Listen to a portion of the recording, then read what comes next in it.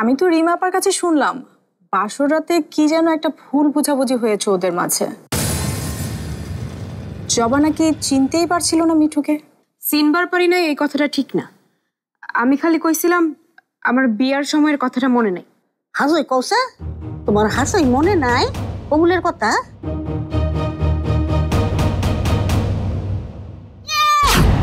C সি সি। কি গো বেআই বেআই কবুলের কথা সেই মাইয়ার মনে নাই। এই মাইয়া এই বাই মিটের লগে কে রে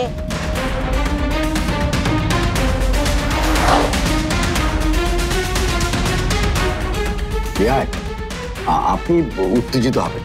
আরে উত্তেজিত না উপায় আছে? জগতে এমন ঘটনা একটাও হচ্ছে না দেখছি না।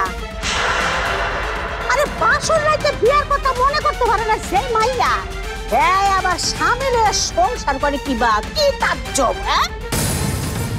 এন তো আপনার আত্মীয়তার বিষয়টা জড়িত। আর আজ মতো থেকে বিয়া হইছেই না। মাইয়ার অনুমতি সারা বিয়া কি তাজ্জব? আহ মা তুমি শান্ত হতো আর চুপ থাক কিবা শান্ত হইয়াম আমি হ্যাঁ? এরকম একটা বিষয় এটা হুনার হুনার আমি শান্ত থাকতারি। আপনি নিশ্চিত এটা আইন মতে সাদি না কি চমৎকার! কি সাহেবা? আমি একশো ভাগ নিশ্চিত এই বিয়া না। তাতে কিচ্ছু যায় আসে না খালাম্মা। কারণ আমি আর চবা এই বিয়েটা মেনে নিয়েছি। আরে আমিও তো সেটাই বলতে চেয়েছিলাম। মিয়া বিবি রাজি তো কেয়া করেগা কাজী। আরে কেয়া করেগা অনেক তো পুলিশ করেগা। কি করবেন লক্ষ্মী সহ আমি একশো ভাগ খাঁটি কথা কইতাছি রে আমি হুনেন নাই?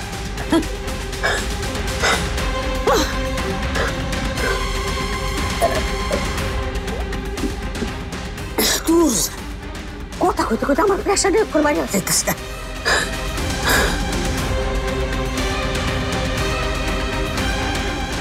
তাইলে তো আগের বিয়াটা ভাঙিয়ে দিতে আমার পুরো তো অবৈধ বিয়া করবার না। আমি যেমন কথা। বেয়াই তো হইছে না। এটা আমার বৈধ অবৈধ কি? তাইলে তো এখনই ব্যবস্থা নিতে হইব আমাকে মা আপনি আপনি ঠিক কথাই কোয়েশ্চেন করবে কোনো বিয়ে ভাঙছে না এই বাড়িতে।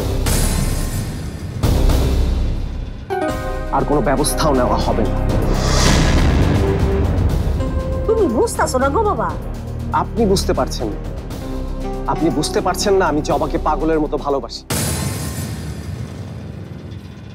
আপনি আমার বিয়ে একশো বার, হাজার বার ভেঙে দিতে পারেন। কিন্তু আমি হাজার বার, লক্ষ বার ওই একজন মানুষকে আমার জীবন সঙ্গী হিসেবে চাইব, আর সেই মানুষটা হচ্ছে জবা।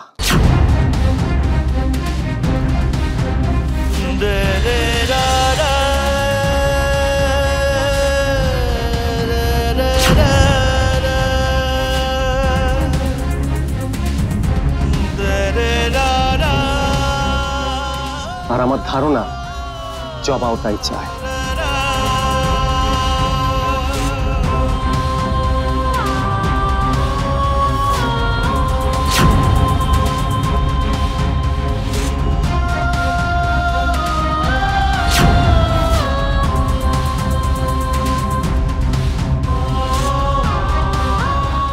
না না, এত সহজে তো ওদেরকে ছাড়া হবে না।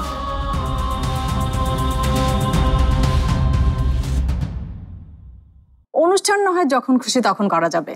কিন্তু যে বাসর রাত এখন পর্যন্ত কমপ্লিট হয়নি সেটা তো করতে হবে। কি বলো বড় ভাবি? অবশ্যই করতে হবে। বাসর রাত ছাড়া হয় নাকি? আজকেই হবে বাসর রাত। না না এইসবের কোনো দরকার নেই। জবার সামনে পরীক্ষা ও পড়াশোনা নিয়ে অনেক ব্যস্ত। আরে পড়াশোনা বাসর ঘরে বসেও করা যাবে। ভাবি কি বলে? একদমই তাই। তাহলে এটাই ফিক্স আজকেই হচ্ছে বাসর রাত। নিয়ম মতো যদি বিয়ার না হয়ে থাকে তাহলে কি এর বাসর? কি এর সাদি? মিঠু আর জবাতে এক ঘরেই থাকবার পারব না।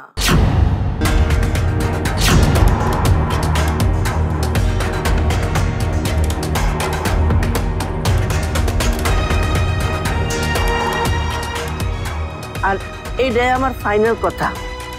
তাহলে আম্মা নিয়ম মতো আমরা বিয়েটা করিয়ে নিই? কি করলে তুমি? না কাজেই ডেকে নিয়ম মতো আমরা আবার বিয়ে পড়িয়ে নিই। আমার তো মনে হয় না এতে মিঠু আর জবার কোনো আপত্তি আছে।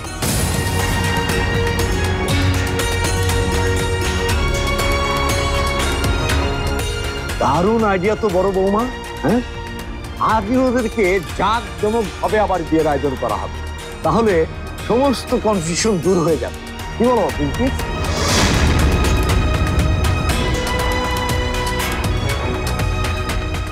না হলে তুমি পুলিশকে জানিয়ে আমাকে জেলেও পাঠাতে পারো, মা।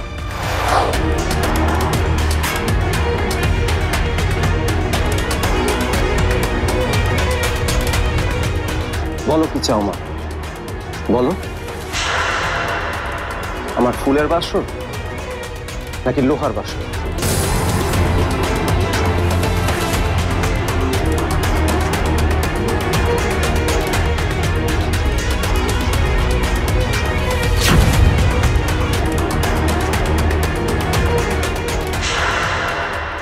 কি করলি তুই?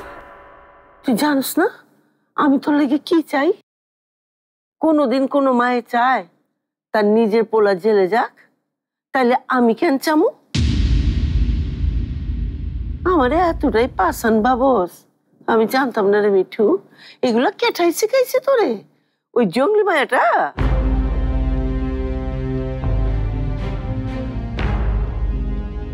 তুমি শিখিয়েছো মা। আমি? হ্যাঁ তুমি।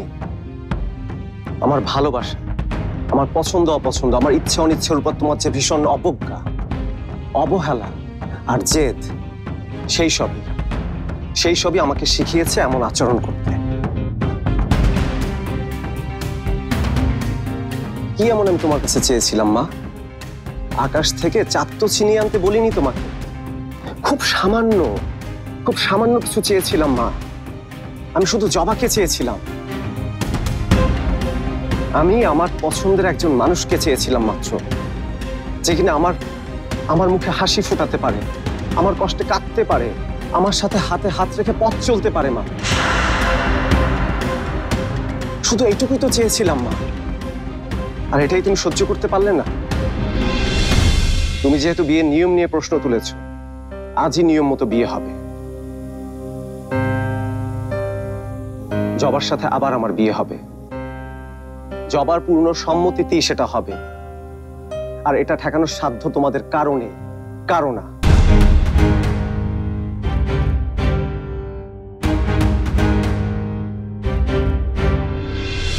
অফিসে যাচ্ছি। চেষ্টা করব খুব জলদি ফিরে আসতে। আর ফেরার পথে কাজীকে নিয়ে আসব সাথে করে বিয়ে পড়ানোর জন্য। আর বাসর? বাসন নিয়ে তুই ভাবিস না ভাই, এটা প্রেমা আর আমি মিলে ঠিক করব। কি বলো প্রেমা? হ্যাঁ হ্যাঁ আমরা দুজনেই ঠিক করতে পারব। তুই খালি তোর কথাই ভাবলি, মিঠু।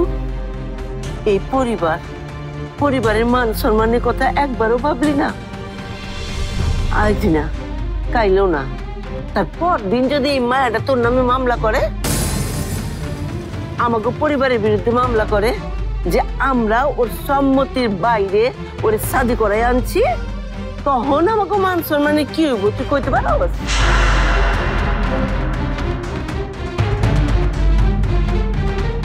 জবা কোনোদিন এই কাজ করবে না। দুই দিনের পরিচয় হওয়া একটা মাইয়ার লাইগা তুই আমাকে পরিবারের মান সম্মান নিয়ে বাজি ধরলি বেটু। আমি বাজি ধরছি না।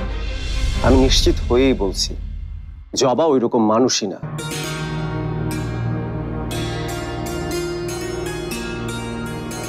তাই?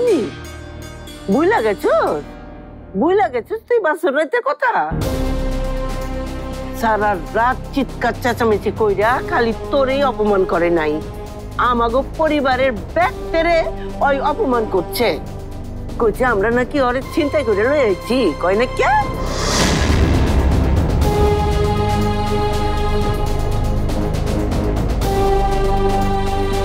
মাইয়া। কও না কে তুই সেদিন ওইসব কথা? আম্মা জবা সেদিন ঠিক আমি আমার পোলার লগে কথা কইতেছি বড় বউ। তোমার লগে যখন কথা কমু তখন তুমি কইবা অহন না। যে মাইয়াটা আমাকে পুরা পরিবারের অসম্মান করল। ওই মায়ার লেগে মা পোলার একটা সুন্দর সম্পর্ক নষ্ট হয়ে যাইতেছে। যে মাইয়া তখন সাদি বাঙ্গা দিয়া এই পরিবার থেকে চলে যেতে চাইতেছিল। সেই মাইয়া তোর কাছে বড় হইল মিঠু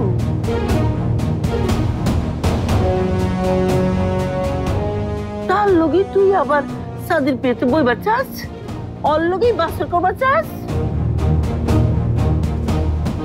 একজন মায়ের কাছে এর চাইতে বড় লজ্জার, বড় হতাশার ব্যর্থতার মনে হয় না আর কিছু আছে।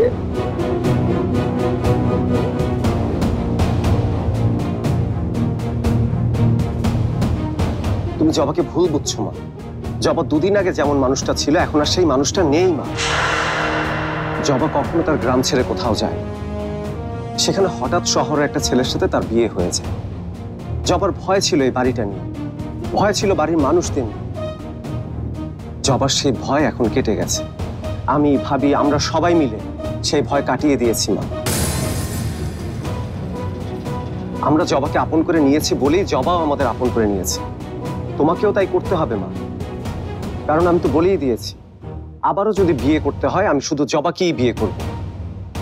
আর আজ সেই বিয়েটাই হবে।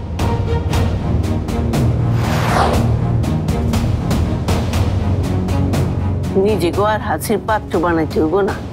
এর মধ্যেই পাড়ায় ওই বউরে নিয়ে নানান ফিসফিসানি শুরু হয়ে গেছে। আই যে বাড়িতে আবার শাদি পড়াইলে পাড়ার ব্যাগতে যাই না যাইবো, নানান প্রশ্ন করব তখন।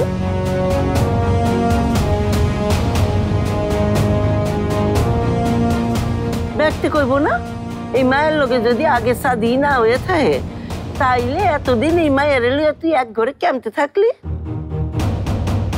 আমগুর নাক কাটা যাইব না? উনি ঠিক কথাই কইছেন।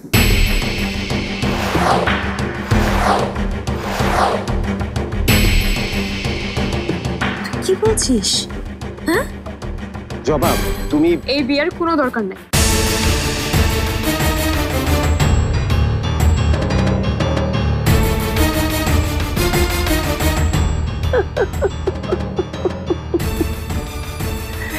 এই তো এই তো লাইনে আয়া পড়ছে মাইয়া।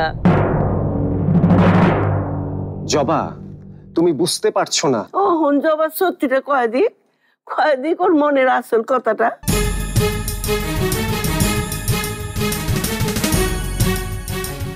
মনের কথা? এইটা আবার কি?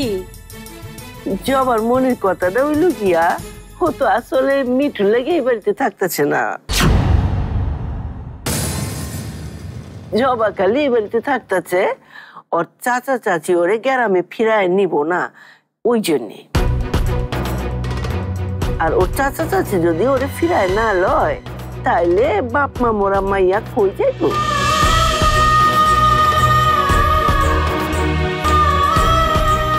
মাগার অহন যদি তোমারে, তোমার চাচা চাচি ফিরায় লইবার চায়, তাইলে?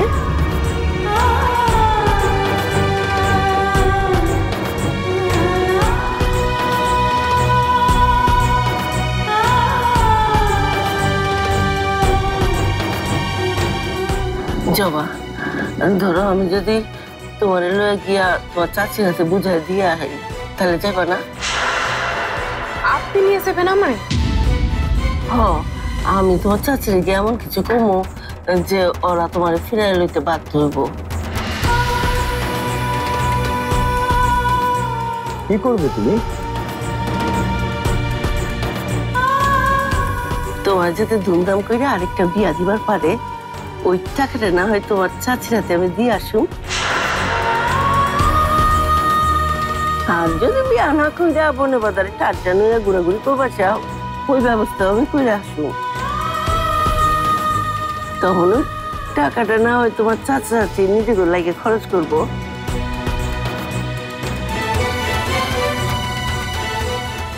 না বয়স তো হয়েছে। আহ, অহন তো অসুখ বিসুখ লাগাই থাকব। আর যতদূর জানি থাকব অবস্থাও তো বেশি ভালো না। কৌ জবা, আমি ঠিক করছি না?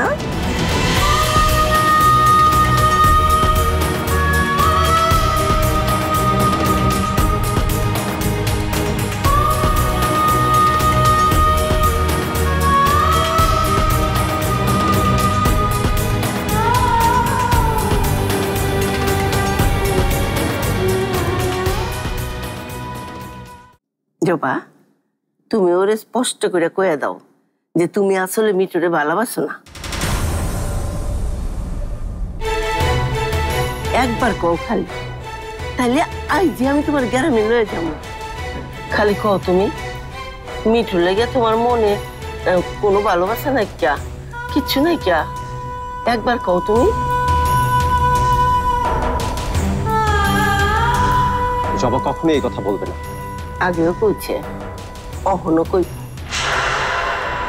নাইলে ও কেন কইলো যে এই সাদিও আরেকবার চায় না।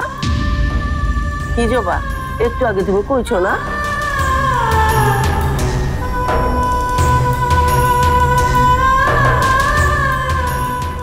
আমি এই বিয়ে চাই না কারণ আমার একবার বিয়ে হয়ে গেছে।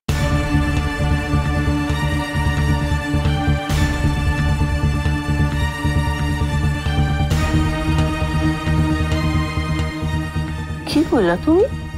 আর সেই বিয়ের কথা সবটা আবার মনে পড়ছে এখন। আর মনে পড়ছে কবুল করার সময়ের কথা।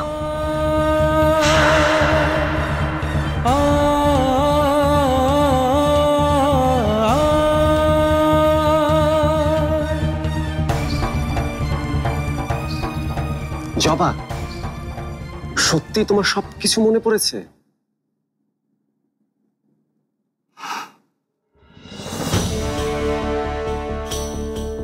সব কিছু মনে পড়ছে আমার।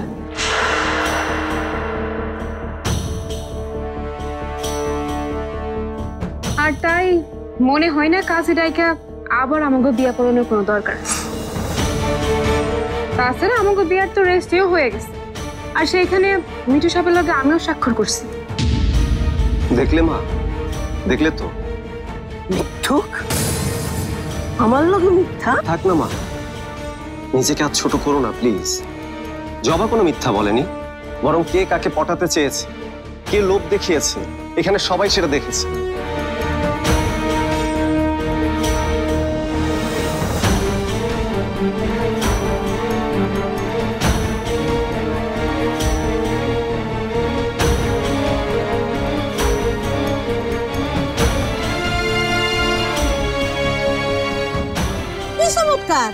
সবই তো হয়েছে দেখতাছি।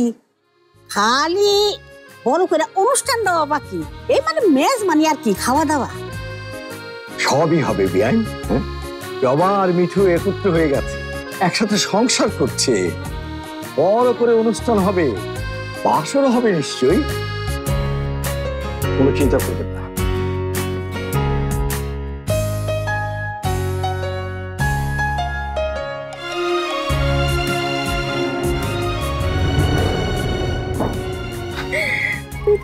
ভয় পাইয়ে দিয়েছিলি। আমারও দু একবার হার্ট অ্যাটাক হয়ে গেছে কিনা আমি বুঝতে পারছি না। তা এখনই যদি হার্ট অ্যাটাক হয় বাসরাতে কি হবে? সেইটার আর দরকার নেই। তুই বললে তো হবে না যাবা হ্যাঁ? যে বাসর অপূর্ণ থেকে গেছে সে বাসরটা তো পূর্ণ করতেই হবে হুম?